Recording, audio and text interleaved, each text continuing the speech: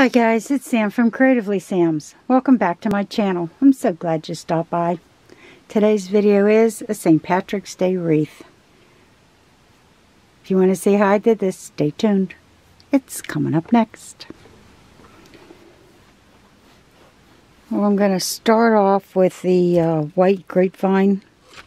And this was a regular grapevine wreath that I got at Walmart years ago. And I have sprayed painted it white because it was starting to look a little shabby. And I've got some flowers. I've got the green carnations and I've got some white lilacs. And I've got um, the gold coins. Lots of ribbon. And I'm not really sure what else is going to go in here. But first thing I'm going to do is I'm going to make a nice big bow for this.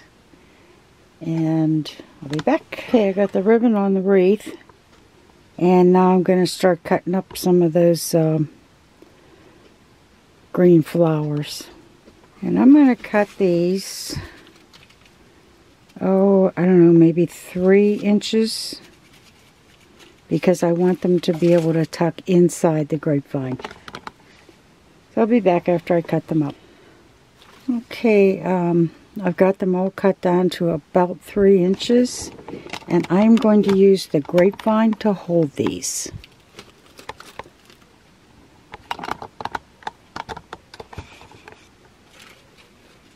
And I'll just repeat what I do on one side to the other.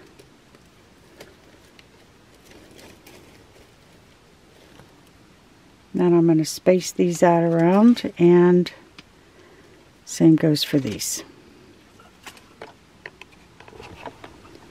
Okay, I got all the carnations in and the um, glitter shamrocks. And now to break it up a little bit, I'm going to put the um, lilacs in. And I'm just going to space these in and around all of the carnations. I always love the way the white breaks everything up. Okay, what I'm going to do now is I've got these foam uh, cauldrons from the Dollar Tree. And I've got some coins from the Dollar Tree. And I'm going to be gluing, hot gluing the uh, coins behind the cauldron. Okay, this um, is awfully thin, just so you know. And what I'm going to do is I'm just going to glue a bunch of these on the back. And maybe a couple in the front.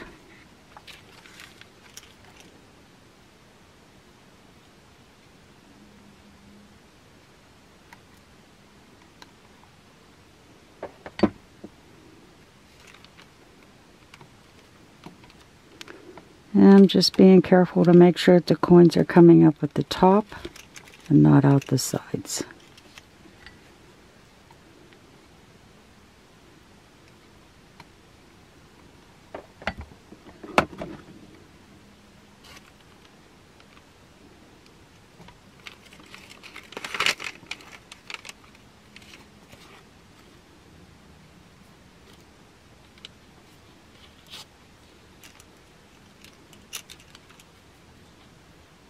And I think I'm actually going to go up a little bit in the back. And then I'll put one in the front.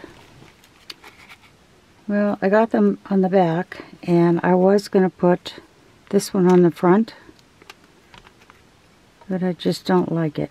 So we're just going to keep the five in the back. And this is an extra wire from um, it's left over from the carnations that I cut off. And I'm going to glue that to the back so that it'll stick in the bottom of the wreath.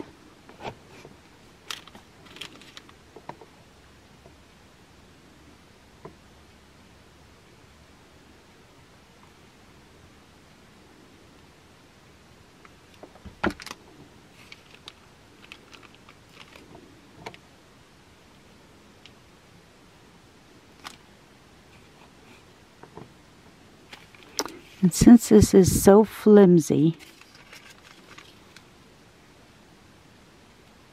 I'm going to put something over top of that. And I'm not sure if I'm going to put another one of these on or a piece of ribbon. Okay, I've decided I'm going to put another one of the um, cauldrons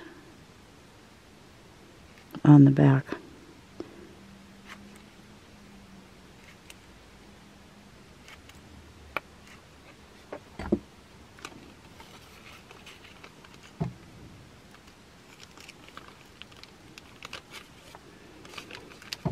And then I'm going to be putting a little bit of glue down in here too.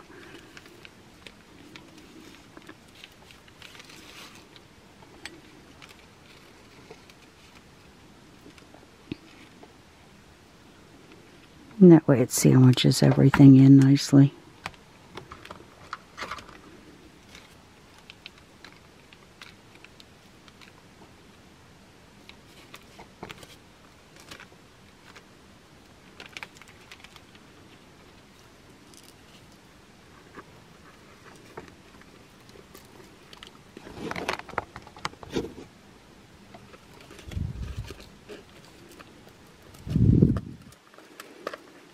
And again, I'm just using the um, grapevine to hold everything in place.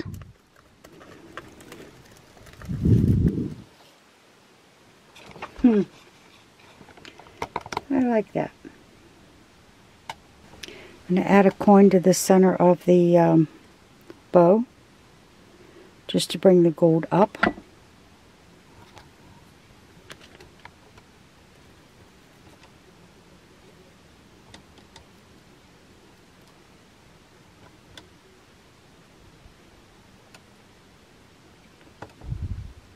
And I'm going to put some uh, um, some more of these coins but I'm going to put them on the leaves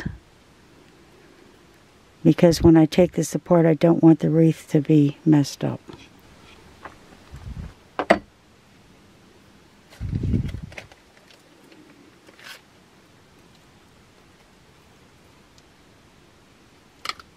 And I'm just going to put a couple more of those coins in, not too many.